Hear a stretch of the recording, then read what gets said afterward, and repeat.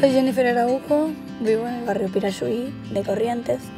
Fui mamá de Valentina a los 18 años, mientras estaba en el secundario en sexto año, y eso no me impidió a seguir la escuela, a terminarla. Fui escolta de la bandera de Corrientes y ahora estoy trabajando, terminando mi casa, cumpliendo nuestros sueños también de tener nuestra casa propia. ¿Cómo fue ser mamá tan joven? Y bueno, eso costó mucho porque había muchas dificultades, digamos, muchos obstáculos, mucha discriminación. Y a mí siempre me dijeron que un hijo te arruina la vida y no es verdad. Si vos querés, podés. Es simple. A mí me decían, vos no vas a poder tener tu casa, vos vas a vivir con tus padres o vas a depender de tu marido. Yo no dependo de mi marido. Sí, tal vez cuando le falte mañana y no hay, bueno, él le trae. Pero yo en mi casa levanté sola. No tengo ni plan social que me ayude.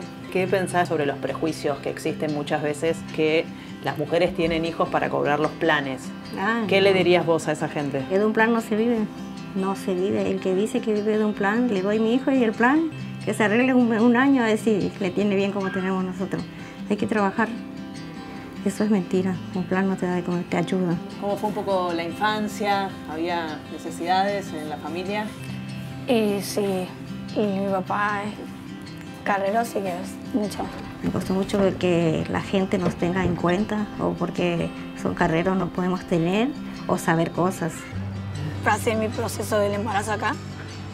Fue un poco muy difícil, pero lo superé y, lo- y terminé el último año con ayuda de muchos profesores que tuve apoyo de ellos y me ayudaron a salir adelante con muchos consejos.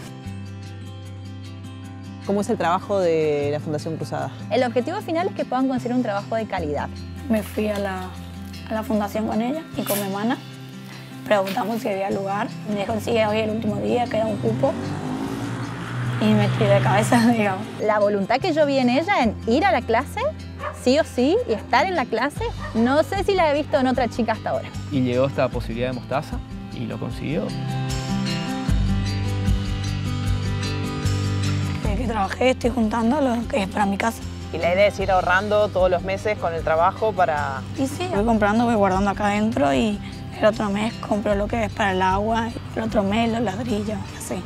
¿Cuán importante fue para vos tener a tu mamá, a, a los maestros y a la gente de la fundación, digamos, una red de personas para poder salir adelante? Fueron algo muy fundamental en mi vida porque necesitas que alguien te ayude, que te dé un empujoncito a andar, probalo. Le quiero dejar a ella más que nada una enseñanza, que siempre va a tener el apoyo de alguien. Si uno estudia, también puede ser alguien.